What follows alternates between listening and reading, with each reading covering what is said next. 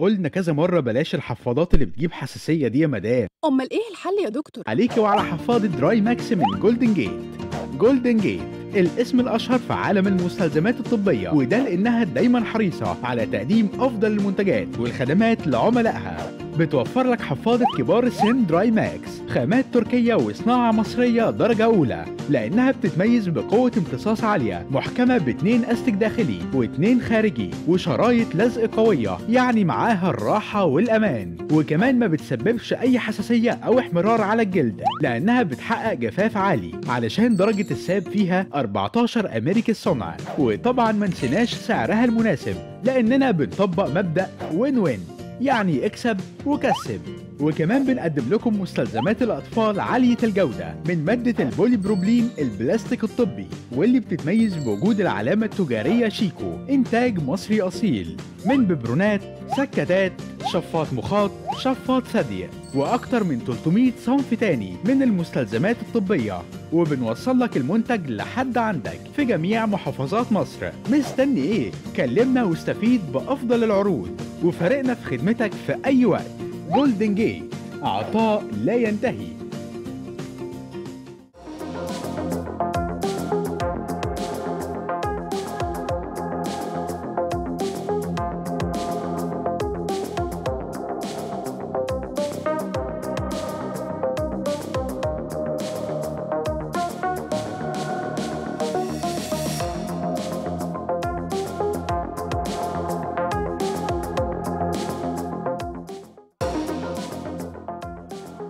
مساء الخير مشاهدينا الاعزاء. أهلا بيكم في حلقة جديدة من برنامجنا وبرنامجكم النيلي اليوم.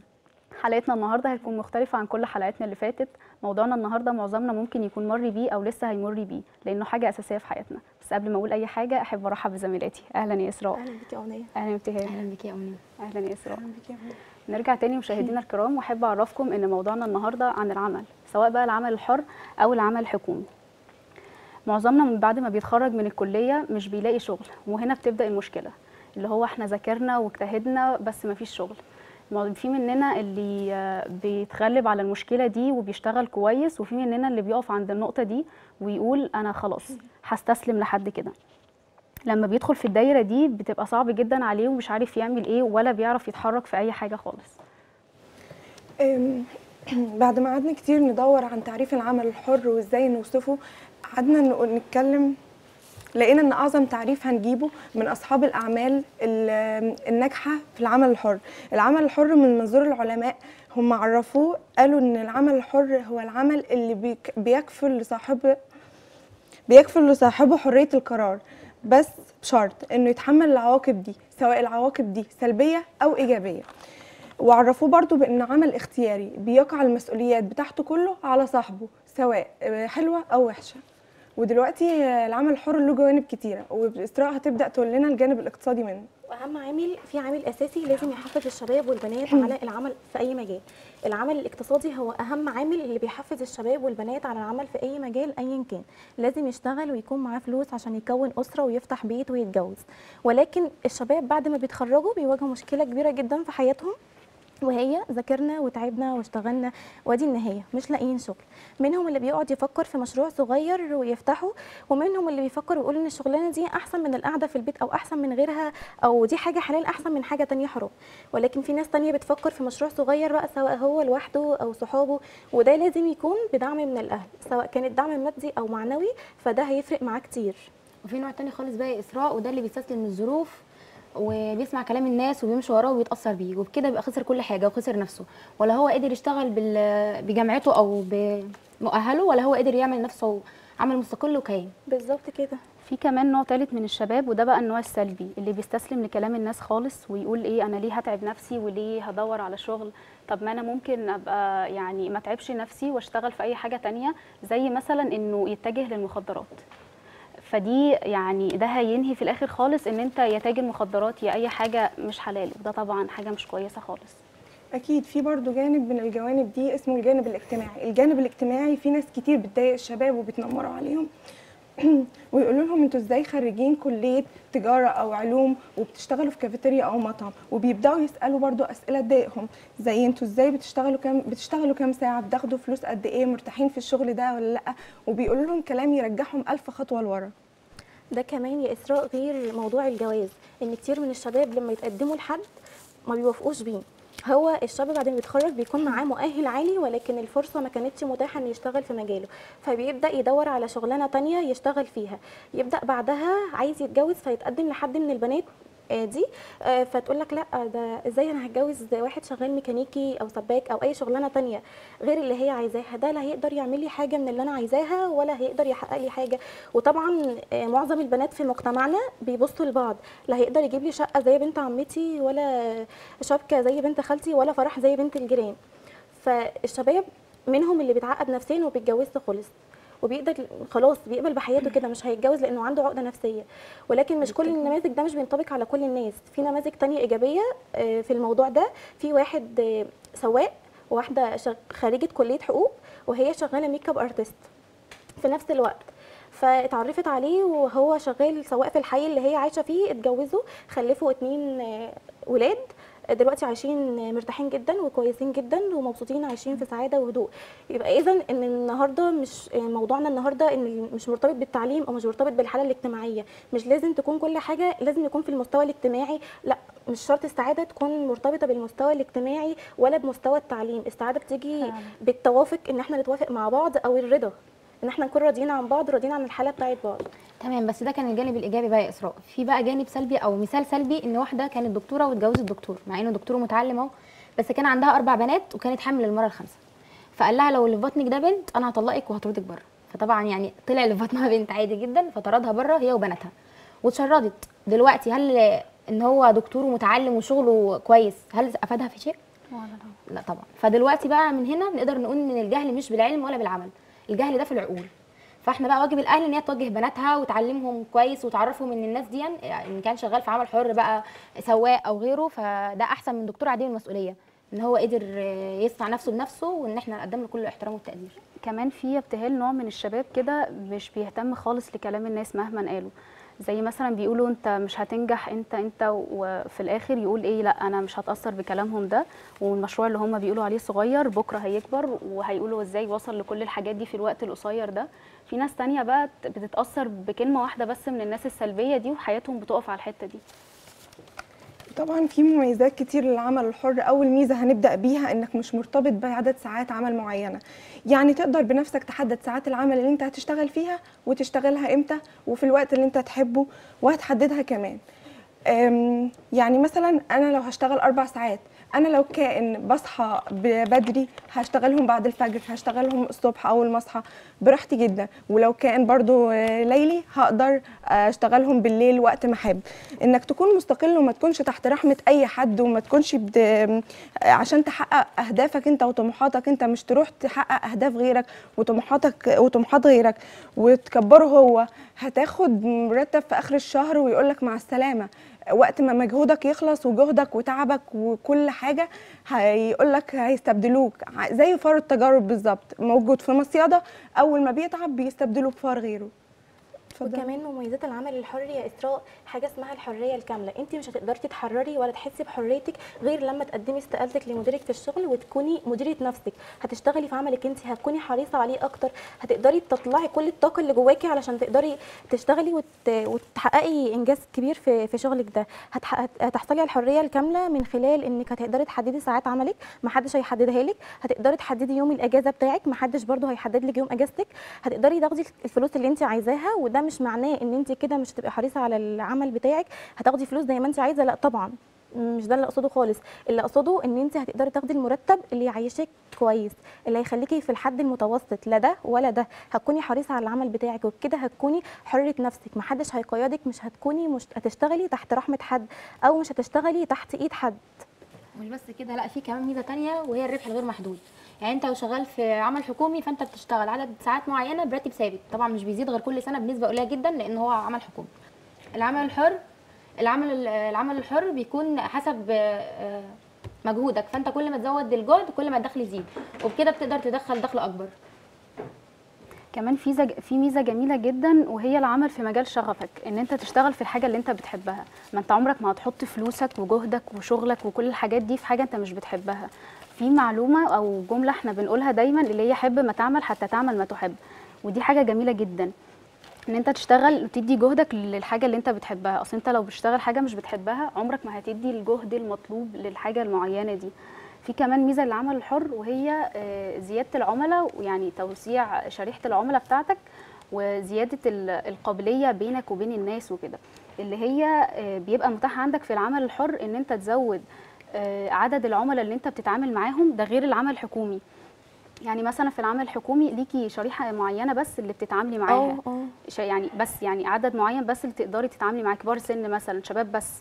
لكن في العمل الحر لو انت مثلا أشغال يدوية فانت هتشتغلي مع الناس كلها.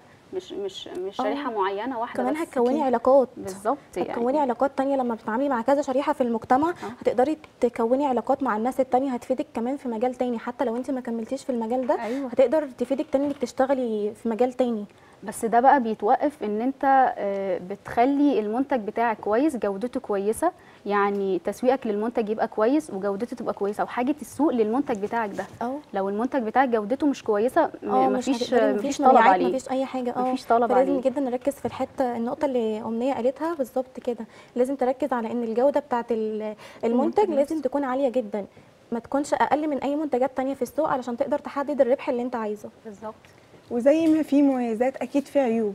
هنقول أول عيب في العمل الحر إن الدخل مرتبط بمقدار عملك أنت. يعني ده بيندرج تحت تقصيرك في العمل. يعني أنت لو أنت قصرت هيقل مبلغك من المال أو هيقل اللي أنت هتاخده الربح اللي أنت هتاخده. وبرده لو أنت زدت ده برده هيزيد معاك.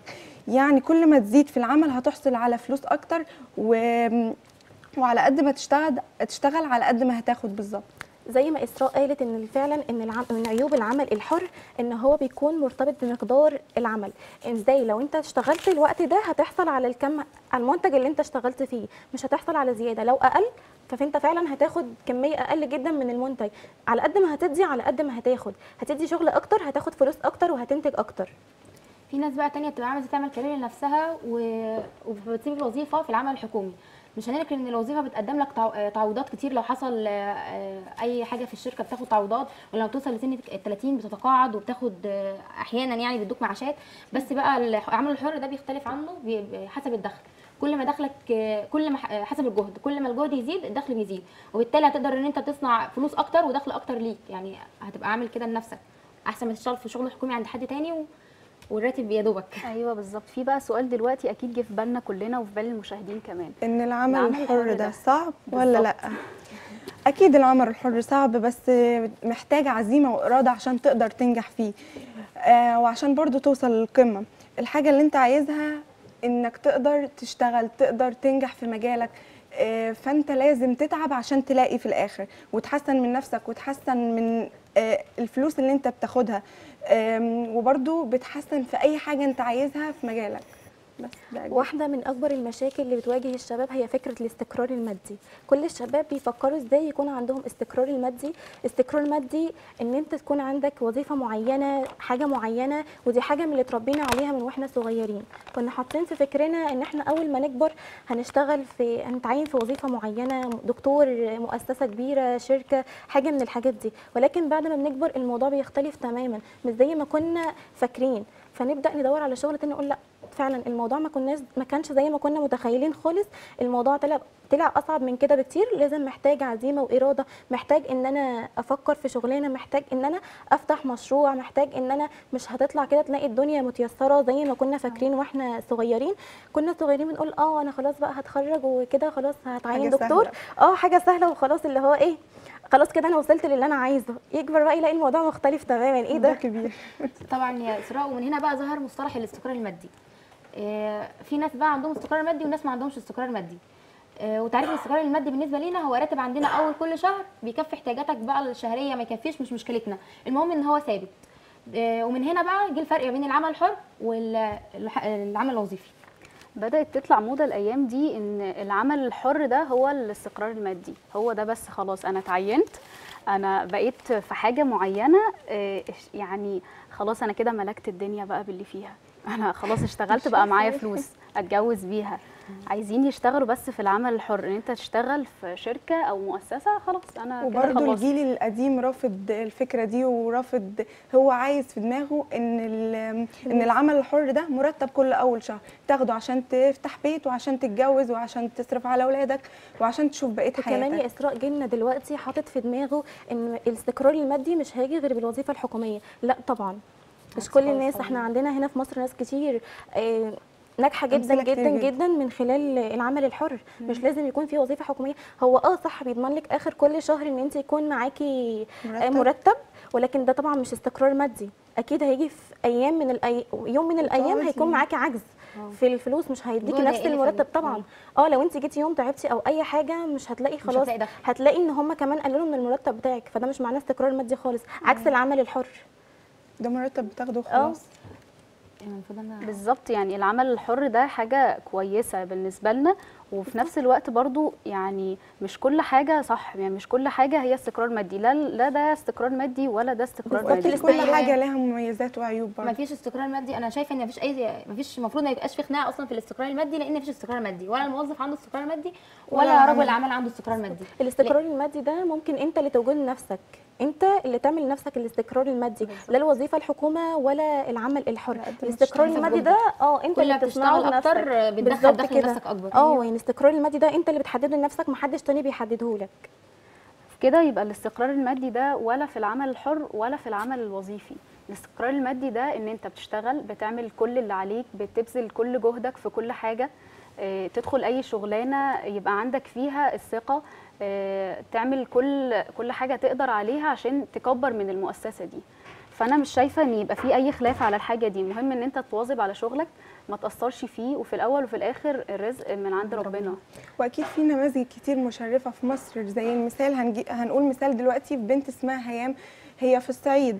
البنت دي خريجة كلية الهندسة. هيام ما وقفتش على الوظيفة ولا استنت الوظيفة تجيلها. هيام قامت بنفسها وفتحت مطعم وبقت هي كمان الشيف بتاعه وإدارته وهي المدير بتاعه ومالكة فيه كل شيء يعني. هي قالت إنها فخورة جدا بنفسها واللي هي بتعمله ده. بغض النظر عن كلام الناس وكلام المجتمع اللي دايما بيكون موجود في أي مكان. وبالذات إنها في الصعيد. هي فاتحة دلوقتي مطعم كبدة وسجق على مستوى الصعيد كله فدي حاجة جدا مشرفة لمصر والبنات كلها. تعمل نفسها هي وعمل اسراء. هيام كانت من النوع اللي بيقول أنتوا غلط. مش مش مش هحط نفسي في الدايرة دي. أنتوا غلط في حاجة اسمها المخاطرة في حاجة اسمها فرص ما كانتش موجودة قبل كده أنا هقدر استغلها. ليه أنا أقعد أكون شغالة تحت إيد حد؟ ليه كل الشخص ده يحدد لي كل حاجة أيوة، ساعات يومي؟ كمان هي خريجة هندسة يعني ما قالتش أنا آه. خريجة هندسة إزاي أشتغل في مطعم آه وأبقى آه ما شيف بصيتش وأبقى لكلام الناس خالص ما قالتش. كمان أنا ليه أقعد أشتغل تحت إيد حد؟ ليه حد يديني مرتبي؟ ليه حد يستغلني؟ ليه حد يستغل طاقتي ومجهودي؟ فأنا هخلي طاقتي ومجهودي ده ليا أنا مش لحد تاني.